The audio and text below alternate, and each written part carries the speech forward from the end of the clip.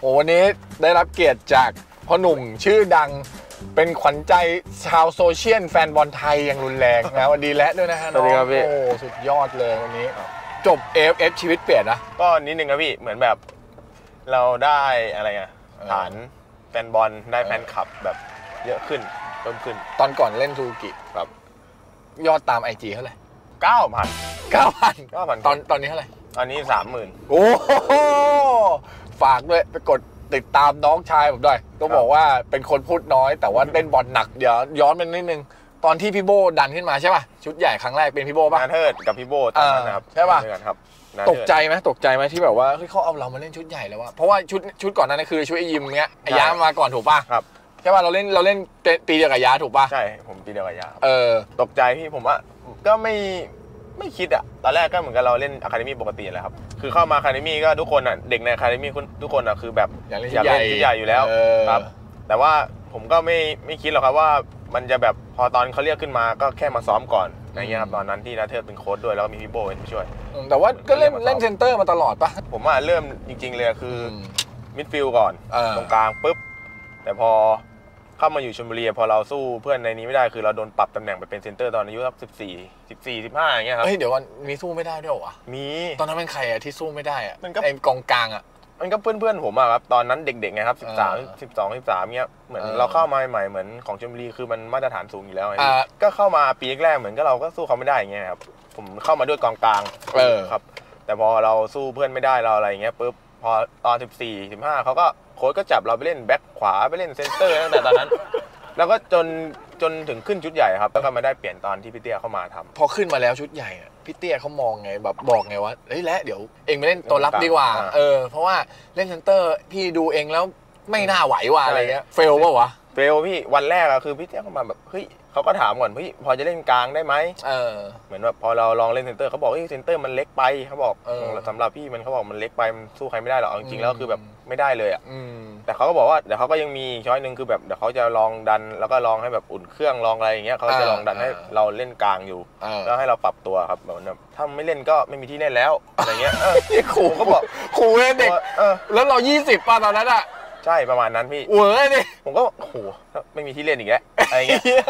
เซ็งผมก็แบบเซ็งๆเลยเป็นไง ตอนเล่นกลางตอนแรกคือเหมือนอะแต่จริงๆก็แต่กี้ก็เล่าแล้วว่ามันเหมือนกลับไปเคยตอนแรกก็มาจากกลางอะไรใช่มันก็มีแต่ปัผญมหามาด้วยมั้งสไตล์ผมอะปรับมาเล่นตรงกลางด้วยจากกองหลังตอนนั้น ช้าก็โดนอะพี่เตี้ยก็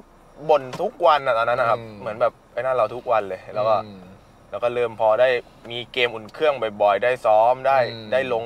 มีโอกาสลงบ้างอะไรเงี้ยมันก็เริ่มให้เราแบบปรับตัวแล้ว กดดันมาวะแบบต้องแบบผมมานั่งสู้อีกแล้วปรับตัวอีกแล้ว โน่นนี่นั่นอีกแล้วก็กดดันนะช่วงแรกอะอืมมันก็รู้อยู่แล้วคือแบบเราปรับมาคือเราไม่ได้เล่นเลยหรอกเออเออมันก็ต้องใช่ปรับก่อนใช่ใครก็จะแบบเปลี่ยนตำแหน่งมาแบบอย่างได้งี้เล่นเลยเออมันเออไม่มีแบบได้เลยอะยิ่งเรามันก็ต้องแข่งขันกับพวกพี่ๆในทีม กี่เดือนวะกว่าถึงจะแบบชินกับกับการเป็นมิดฟิลด์ที่ฟิลด์พี่เตี้ยต้องการอะก็หลายหลายเดือนอยู่ครับ แล้วก็มาได้ลงไอแมตช์แรกเลยอะเออตอนนั้นเลยที่ก็ปุ๊บก็คือไอแมตช์เมืองทองอะพี่อ่าที่ยิงอะที่ที่ยิงไกลอะที่ยิงไกลเออเออเออที่ยิงไกลอะนั่นแหก็ได้ลงเอ้ยอย่างนั้น มันก็เออผมว่ามัน ก็ทำให้ผมแบบรู้แล้วก็เริ่มสนุกก็เริ่มทีนี้ก็เริ่มไม่นั่นแล้วเริ่มจอยแล้วใช่เริ่มจอยแล้วพอแล้วเราก็เล่นเล่นมาเรื่อยๆทีนี้มันก็โอเคเลยเออมันก็สนุกเพราะตรงกลางมันสนุกอยู่แล้วพี่เอ้ยตรงกลางมันต้องแบบต้องใช่กดไงได้เตะบทมันได้ตัดได้ลุกมึงเนี่ยได้เป็นอะไรคนด้วยแบบว่า hardcore เหมือนกันนะชอบเข้าบอลชอบตัดบอลอะไรเงี้ยมันก็อ่าเราก็เล่นเราก็เล่นเซนเตอร์มาอย่างเงี้ยมันก็เออพอแบบอันนั้นบ้างครับ วันที่มาโน่เล่นเป็นติดทีมชาติชุดใหญ่มันฮะตื่นเต้นมาวะตื่น เต้นพี่ผมโทรกลับบ้านหาพ่อเลยแบบเออแบบมีชื่อเฉยเว้ยอะไรเงี้ยเออเออ แล้วแบบชื่อเราไปในกองกลางอ่าที่คือแบบกลาง แต่ก็คืออะก็อย่างว่าแหละไปในกองกลางอะอ่าคือมีชื่อไปแล้วคือชื่อลงตรงไหนวะ ผมว่าไอ้เหี้ยดูดูชื่อกองกลางดิโอ้โหโอ้ยแล้วกลางไปกี่ตัวอะพี่ดูเลย กลางเต็มมากเต็มแบบอะอันอันอันดับแรกตำแหน่งมึงก็เป็นสารัตอะเป็นพี่ตังเงี้ยพี่เต้อย่างเงี้ย อ่าพี่เต้พิธีวัฒน์เงี้ยโอ้โหโอ้โหแต่ละคน สองคนแม่งก็คือแบบ ชุดใหญ่เล่นมาหนามใช่หนามแล้วอะวานโนซ้อมวันแรกได้ข่าวว่าวันนั้นอะเขาให้มึงไปเล่นเซนเตอร์อะใช่เขาไม่ได้บอกผมเลยนะเออ เหมือนก็ก็คือวันแรกคือไปซ้อมครับอ่าแล้วก็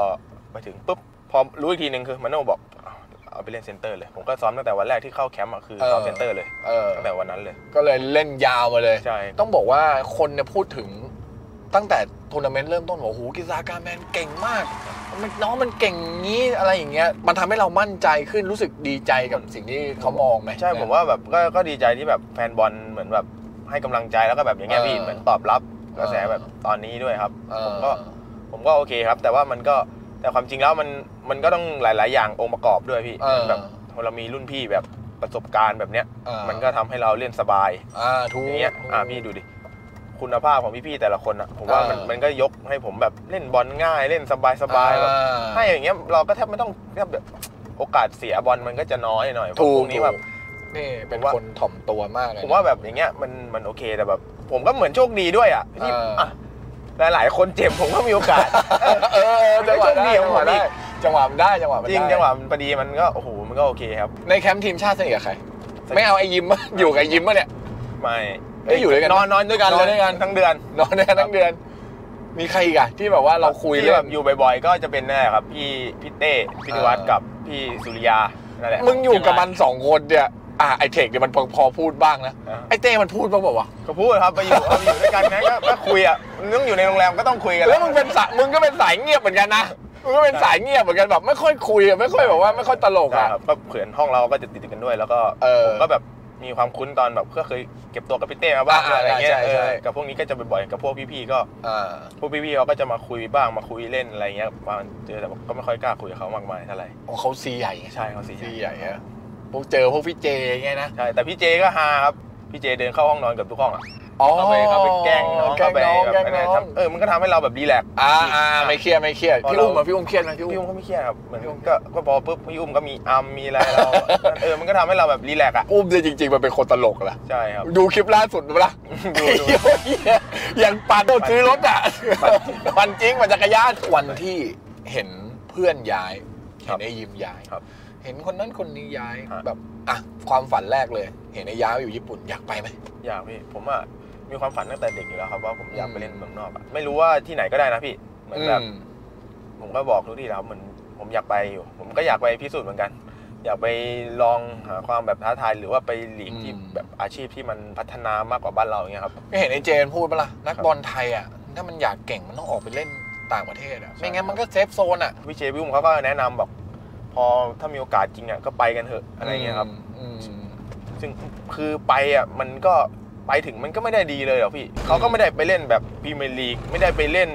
ก็ไปลีกเล็กๆก่อนใช่เออมันก็ต้องไปไต่เต้าก่อนอะเนี่ยกูถึงมาถึงต้องมาหามึงก่อนเดี๋ยวมึงดังกว่านี้กูมาถึงไม่ถึงตัวแล้วเข้าถึงตัวยากแล้วเดี๋ยวหลังดังกว่านี้พี่บอลจะแบบโอ้ยเฮ้ยตู่แล้วไม่ว่างเลยน้องคิวมันเยอะอะไรเงี้ยวันนี้ก็ต้องจะต้องตีเหล็กต้องตีตอนร้อน ตอนยังไม่ดังมากเดี๋ยวเข้ามาเกาะก่อน เออ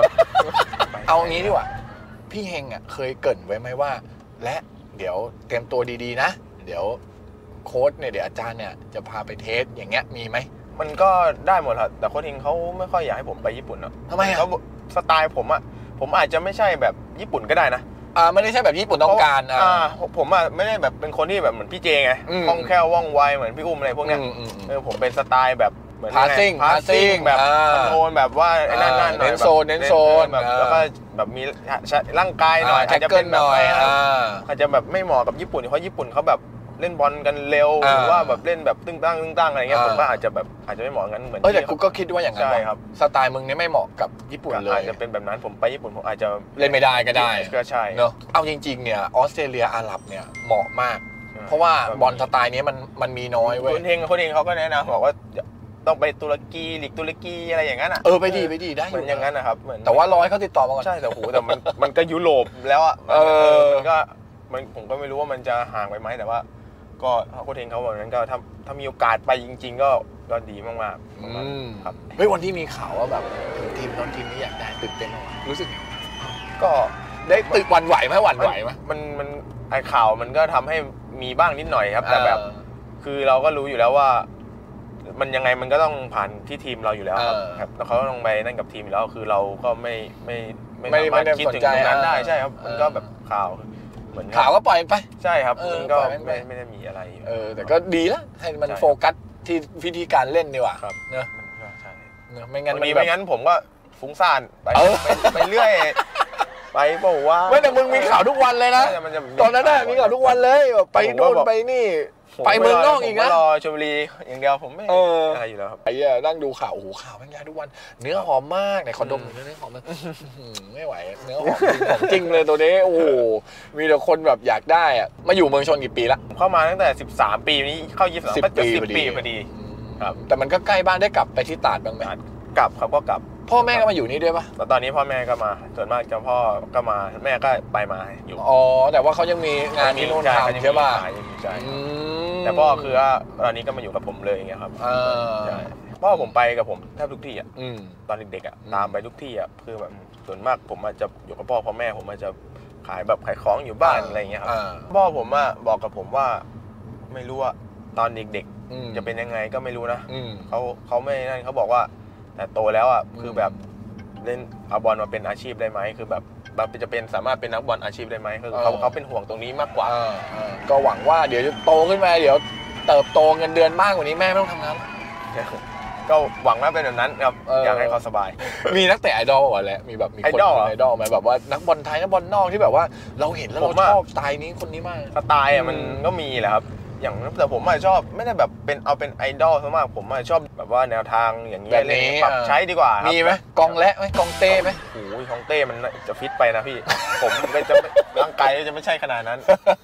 เหมือนคนเขาไปเปรียบกับมาร์เซแล้วเนอะเออพเออเออเออมาแค่นั้นดูทันแต่แบบเกิดทันดูเหรอวะทันทันทันเออเขาก็เป็นคนตัวเล็กๆเป็นเออแบบเราเนี่ยส่วนสูงอะไรคล้ายๆเราแล้วเล่นแบบในอ่าตำแหน่งคล้ายๆกันคนเขาก็เลยแบบ เปรียบเทียบว่าเราแบบว่าคล้ายๆสไตล์นี้นี่เอออะไรอย่างเงี้ยต้องเป็นเด็กหงส์เนี่ยเชียร์ลิเวอร์พูลไหมเนี่ยเชียร์เชียร์เฮ้ยสุดยอดเลยจังหวะลิเวอร์พูลครับลิเวอร์พูลสุดยอดเลยเออขอบคุณมากที่ให้พี่สัมภาษณ์นั้นแต่ปกติไม่ค่อยออกรายการถูกป่ะใช่ผมไม่ไม่ค่ค่ออยยมีถ้าแบบไม่มีใครแบบนั่นจริง ๆ ผ่านมาทางพวกนี้ก็ไม่ค่อยได้สัมอ่าภาษณ์เนี่ยกูรีบมาเลยนี่ไง กูแบบว่าเขาเรียกว่ามาต้องมาถึงที่ต้องเอาให้ได้ครับผมขอบคุณมากเลยแล้วเดี๋ยวเจอกันน้อง ก็ขอให้ประสบความสำเร็จแล้วกันขอบคุณครับสู้ๆครับผมสวัสดีครับสวัสดีครับพี่ตู่สวัเอ้สยดีครับเดี๋ยวเดี๋ยวฝากอะไรถึง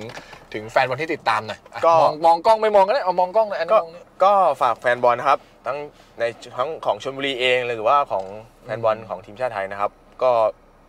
ผมก็จะพยายามพัฒนาตัวเองขึ้นไปเรื่อยๆ แล้วก็เป็นกำลังหลักของทีมทั้งสโมสร หรือว่าถ้ามีโอกาสไปทีมชาติอีกก็จะทำผลงานในทีมชาติให้ดีนะครับ แล้วก็จะพัฒนาตัวเองไปเรื่อยๆครับโอเคแล้วก็ฝากติดตามด้วยครับอ่ารัขอบคุณครับผมขอบคุณมากมากๆครับเดี๋ยวปล่อยและไปซ้อมก่อนครับโอเคครับขอบคุณมากน้องเดี๋ยวเจอกันใหม่ เดี๋ยวพี่มาหาใหม่เนาะและปกติเป็นคนนิสัยแบบไหน เป็นคนตลก เป็นคนขี้เล่นไหมหรือว่าเป็นคนเงียบเงียบก็มีบ้างครับ แต่ผมก็เงียบๆอะครับ ไม่ค่อยได้ไปแบบเล่นเฮฮาอะอยู่กับใครมากคือคนอื่นเขาไม่รู้ป่ะใช่ด้วยความที่แบบไม่สนิทหรือเปใช่ล่าครับก็ถ้าอยู่กับน้องๆกับเพื่อนๆพี่ๆในทีมอะไรอย่างเงี้ยอืมก็จะเล่นเล่นๆแซวๆกันอำอย่างเงี้ยครับอืมแต่ว่าถ้าอยู่ข้างนอกก็แบบเราก็ไม่ไม่ได้ค่อยไปไปไหนอยู่กับใครอย่างเงี้ยก็อยู่แต่ที่บ้านอะไรอย่างอืเงี้ยมมันก็เลยกลายเป็นว่าใช่มันเหมือนกับกลายเป็นว่าเราอะเงียบเงียบๆแบบใช่ไม่ค่เขาอยก็สูดูงเขาสิจะดูแบบเงียบๆดูแบบนิ่งๆอะไรอย่างเงี้ยแต่ตอนกูโทรมาหามึงอะน้ำเสียงกูรู้แล้วมึงไม่มึงมีของมึงไม่ใช่คนแบบว่าไม่ใช่คนดีไม่ใช่ไม่ใช่คนดีไม่ใช่คนแบบเงียบเงียบๆเป็นคนแบบว่าก็เฮฮาก็เฮฮาบ้างครับก็เฮใช่บ้างใช่อย่างสีเหลืองเนี่ยอะไรเยลโล่เฮ้ยมันไม่ใช่มันมันมันเอาเหรอเอาก็ได้นะได้